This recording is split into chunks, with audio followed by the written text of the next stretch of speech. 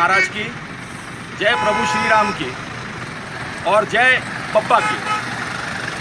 मैं सभी भक्तजनों को ये बताना चाहता हूँ कि हम ये वीडियो बना रहे हैं। कई भक्तजनों की जानकारी के लिए जो बागेश्वर धाम आना चाहते हैं। बागेश्वर धाम वो चमत्कारी धाम है, वो दिव्य धाम है, जहाँ पे दैविक शक्तियों का वास है। कई लोगों की मनोकामनाएँ पूरी होती है, कई लोगों की समस्या का हल होता है। बिल्कुल निशुल्क धाम। किसी तरह का कोई शुल्क नहीं है। दो समय का निशुल्क महाप्रसाद लंगर। और ये धाम आने के लिए आपको जाना पड़ेगा ग्राम गड़ा जैसे कि ये बोर्ड देख सकते हैं, ये मेन हाईवे है, सतना और झांसी हाईवे यहाँ से आपको इस स्थान पे उतरना है, जो यहाँ पे गड़ा टावर बोलते हैं। ये टावर बहुत बड़ी निशानी है। कोई भी अगर आता है तो उनको इस टावर पे उतरना, इस टावर से पाँच किलोमीटर के लिए आपको अंदर साधन मिल जाएगा बागेश्वर धाम के लिए। ये रास्ता जा रहा है बागेश्वर धाम के लिए। और एक तरफ़ मेरी तरफ़ सतना है। इस तरफ़ सतना है। सतना से जो भी आते हैं, तीन घंटे का बस का सफ़र है। चाहे अपनी गाड़ी से आए, चाहे बस से आए, तीन घंटे का बस का सफ़र है। तीन घंटे बाद सतना से आपको ये स्थान आ जाएगा, जिसे बोलते हैं गड़ा टावर और पहले आता है गंज। ये गंज एक छोटा सा कस्बा है। वो मशहूर है। और गंज से एक किलोमीटर आगे ये स्थान है जो कि टावर पे उतरना है। इस हाथ सतना है और उस हाथ झांसी है। उस हाथ पे झांसी है। झांसी से आते वक्त अगर आपको बस से आना है, अगर आपको बस से आना है तो झांसी से आते वक्त डायरेक्ट बस नहीं आती। बहुत कम आती है। आपको आना पड़ेगा झांसी से तीन घंटा बस का सफ़र छतरपुर। छतरपुर से भी ज़्यादातर आपको बस बदल के आना पड़ेगा गड़ा टावर तक। आप देख सकते हैं, झांसी आने से भी आने वाले लोग ये बोर्ड देख सकते हैं। मैप के ऊपर पे भी अगर बागेश्वर धाम मंदिर या गंज या गड़ा डाल देंगे तो आपको लोकेशन बागेश्वर धाम मंदिर का आ जाएगा। आइए आपको यहाँ के बारे में बता दें। आइए।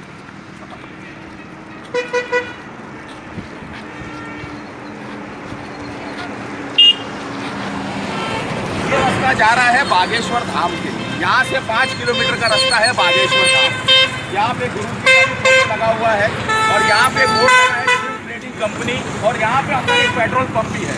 देख सकते हैं आप यहाँ पे कि पाँच किलोमीटर आगे गरा टावर लिखा हुआ है।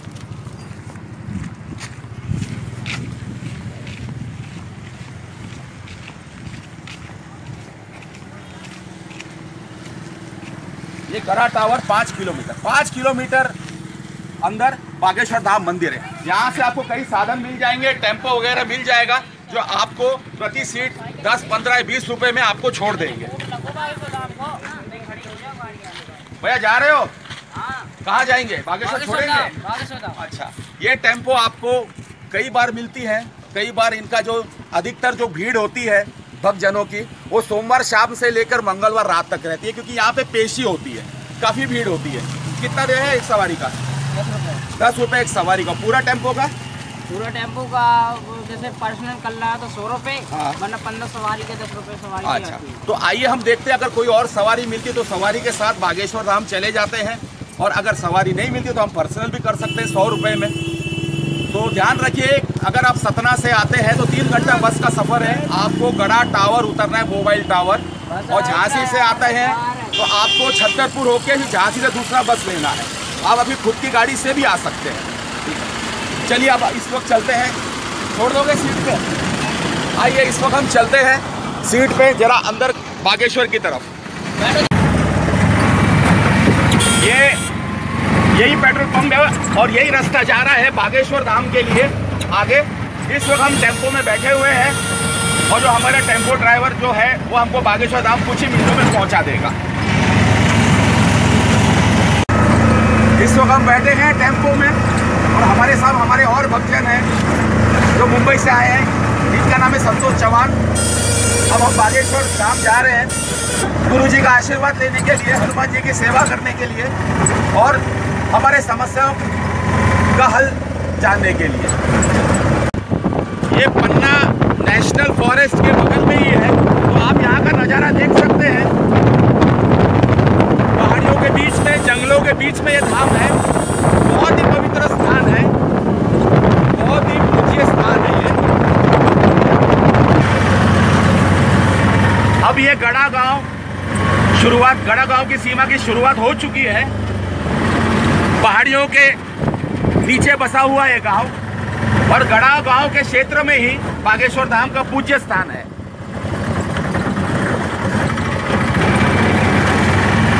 चुके हैं दिव्य चमत्कारी धाम पे, बागेश्वर धाम।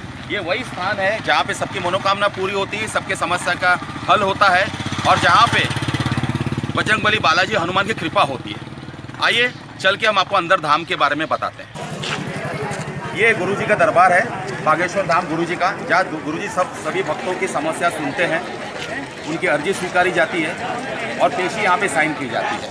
और हमारे पीछे जो है, वो जो कैबिन दिख रहा है, वो यहाँ का कार्यालय है, जिसका फ़ोन नंबर भी हम इसी के वीडियो में डिटेल में दे देंगे और आप कुछ भी आपको संपर्क करना तो कार्यालय में जानकारी दे सकते हैं। और मंदिर के साथ ही आइए, मंदिर की तरफ़ चलते हैं। ये कार्यालय है ये गुरु जी का दरबार है।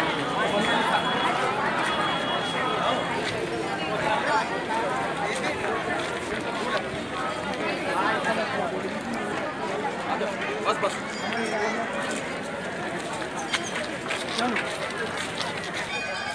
तो हम अपना चप्पल उतार देते हैं यहाँ पे मंदिर की सीढ़ियाँ चढ़ रहे हैं। यहाँ देख।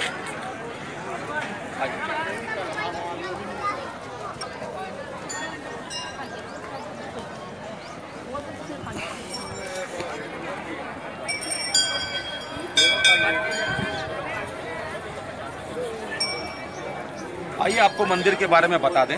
ये मंदिर में यहाँ की विधि है कि 21 परिक्रमा करनी होती है मंदिर की। और परिक्रमा के लिए, गिनती के लिए यहाँ कंकड़ उठाए जाते हैं। ये जो कंकड़ है, इनका परिक्रमा से कुछ लेना देना नहीं है, सिर्फ़ गिनती के लिए। तो एक, अगर 21 परिक्रमा है तो 21 आपने कंकड़ उठा लिए, पत्थर उठा लिए, एक परिक्रमा के बाद वापस गमले में डाल देना है। कंकड़ का, पत्थर का परिक्रमा से कुछ लेना देना नहीं। अगर आपके पास गिनती के लिए कुछ और साधन है तो आप गिनती के लिए वो साधन, चाहे आप मोबाइल में फ़ीड करो, चाहे कैलकुलेटर लिखो चाहे पेन से आप अपने हाथ पे लिखो या कागज़ पे। लेकिन ध्यान रहे, जब पत्थर आप डालते हैं गिनती के बाद तो गमले में ही डाले, समाधि में ना डाले। समाधि पूज्य है और समाधि के ऊपर कभी कोई कंकड़ नहीं फेंका जाता है। तो हम 21 पत्थर उठा लेते हैं। हमारी परिक्रमा सुबह ही हो चुकी है, ये आपको समझाने के लिए हम परिक्रमा कर रहे हैं।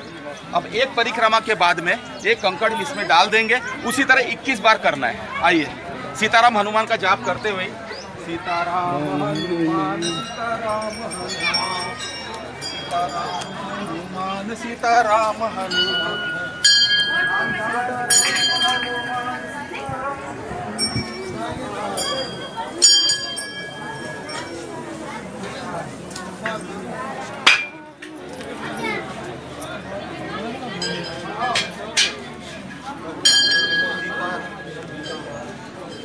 जो समाधि है, ये बब्बा की समाधि है, इसमें प्रवेश निषेध है। गुरुजी और सिर्फ़ धाम के जो गिने चुने सेवक है, वही जा सकते हैं। यहाँ पे जो भी जिनको प्रार्थना करना है, बाहर से ही कर सकते हैं। बब्बा जी, जो गुरु जी के दादाजी थे, उन्हीं के आशीर्वाद से आज हनुमान जी की कृपा है। तो ये स्थान पे निषेध है, सभी का जाना। सिर्फ़ गुरु जी और गिने चुने उनके जो समाज के जब जो धाम के सेवक है, वही जा सकते हैं। तो यहाँ से प्रणाम कर सकते हैं। माथा टेक सकते हैं। अपनी मनोकामना बोल सकते हैं। और परिक्रमा चालू रखें। चलो सन्यासी बाबा की समाधि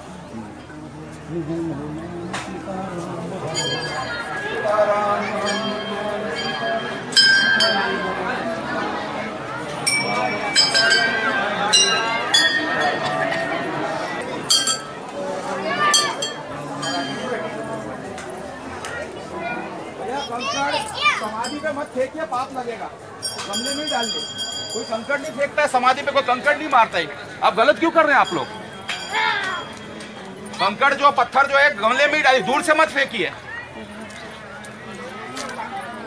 अभी एक परिक्रमा पूरी हो गई है, एक कंकड़ डाल उसी तरह 21 परिक्रमा पूरी करना है। जो मंदिर है, इनके भी दर्शन करें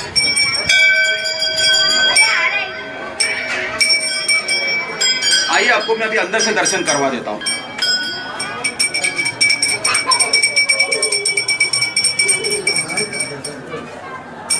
जय भोलेनाथ शिव शंकर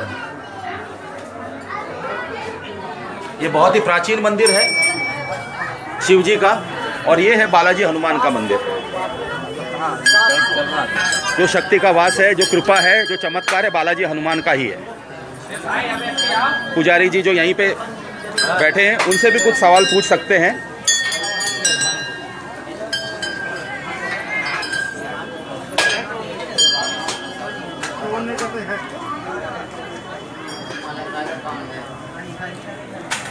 जय श्री राम पंडित जी।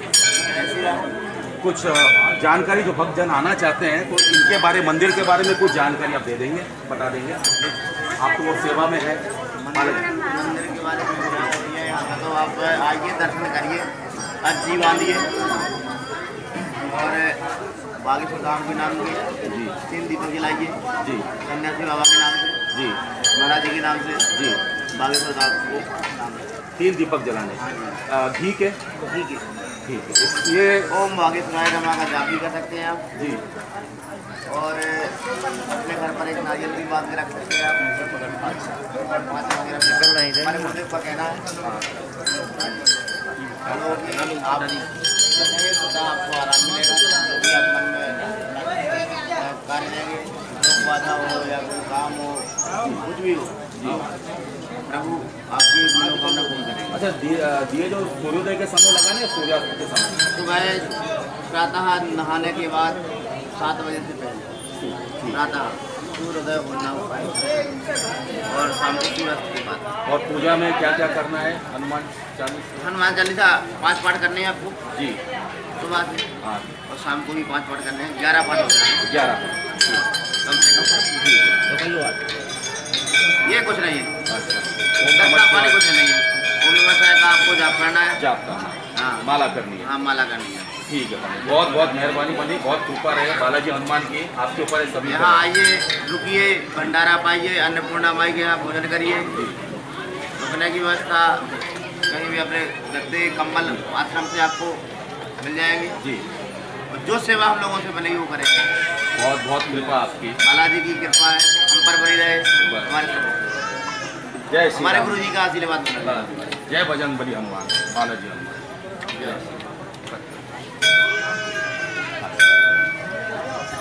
ये शक्ति है बालाजी हनुमान की और ये शक्ति है प्रेतराज सरकार की।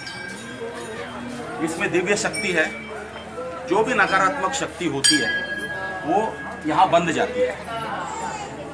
दिव्य शक्ति है और इसका आप खुद आएँगे तो आप खुद अपने आँखों से इसकी शक्ति के सबूत आप देख सकते हैं। ये है प्रेतराज सरकार।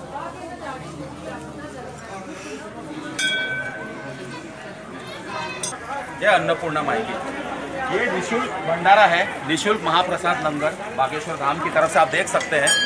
सभी भक्तजन जो है अपना प्रसाद ग्रहण कर रहे हैं। किसी तरह का यहाँ पे शुल्क नहीं है। बाकी भक्तों के ऊपर है, अपने मन से जो दान देना चाहे। एक बार आप देख लीजिए कि सुबह से आज जो है, हज़ारों भक्तों ने प्रसाद ग्रहण किया हुआ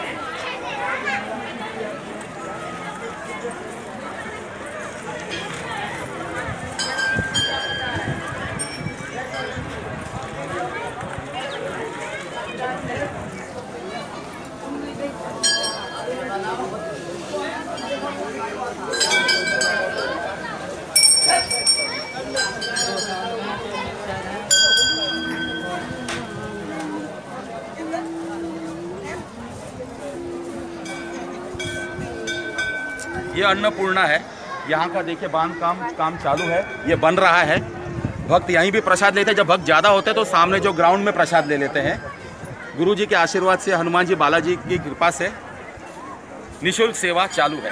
भक्त जो आते हैं, वो चाहे तो सेवा कर सकते हैं।